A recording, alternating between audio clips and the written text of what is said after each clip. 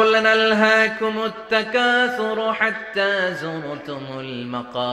দুনিয়া তোমাদেরকে গাফেল বানিয়ে দিয়েছে। গাফলতি কমবে না যতদিন না কবরে ঢুকো।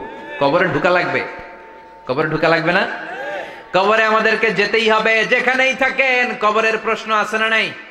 অনেকে বলে, হুজুর, বিমান হামলায় মারা গিয়েছে। বিমান জলে পুরে ছাই হয়ে গিয়েছে। তার কবর কোথায়? তার আত্মাটা যেখানে আছে ওই জায়গায় প্রশ্ন আছে না নাই? অনেকে বলে হুজুর সাগরের মধ্যে পড়ে মারা গিয়েছে তিমি মাছ খেয়ে ফেলেছে তার কোনো অস্তিত্ব নাই কিন্তু তার রুহুটা আছে না নাই? প্রতিটা রুহু সংরক্ষণ করে কে? প্রত্যেকটা আত্মা আল্লাহর কাছে সংরক্ষিত থাকে। প্রতিটা রুহু প্রতিটা মানুষ মালাকুল মাউতকে দেখতে পায়। আপনিও দেখবেন আমিও দেখব।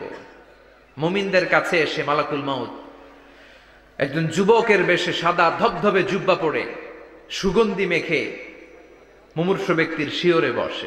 বসে বলে, ইয়া আইয়া তুহান নফসুল মুতমাইন্না, হে প্রশান্ত আত্মা, উখরুজি ইলা মাগফিরাতুল্লাহি ওয়া রিদওয়ানি, আল্লাহর ক্ষমা আর দয়ার দিকে বের হয়ে আসো।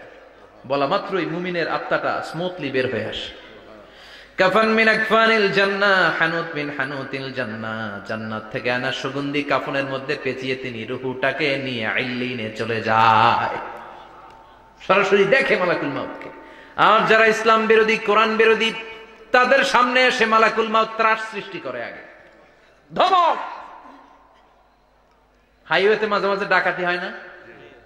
বাসগুলোর মধ্যে যখন ডাকাতি হয়, বাসে থাকে পঞ্চাশ জন, ডাকাত ঢুকে পাঁচজন। এই পাঁচজনের ভয়ে সবগুলো পেশাব করে দেয়।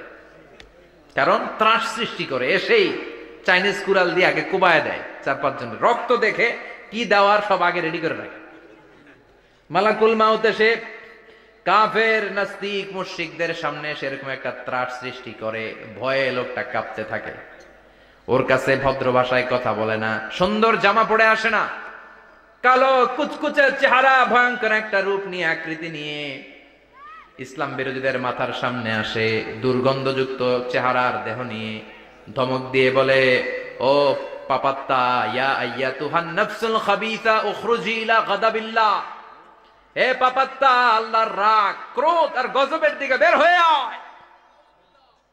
মুমিনের আত্মা বলার সাথে সাথে যেমনি মুমিনের দেহ থেকে বের হয়ে জান্নাতি কাফনের ভেতরে ঢুকে কাফেরদের আত্মাও কি এরকম তাড়াতাড়ি বেরোতে চায় নাকি? কাফেরদের আত্মা বেরোতে চায় না, ডানে দৌড়, বায়ে দৌড়, সামনে দৌড়, পেছনে দৌড়। আহা! দৌড়াদৌড়ি করে।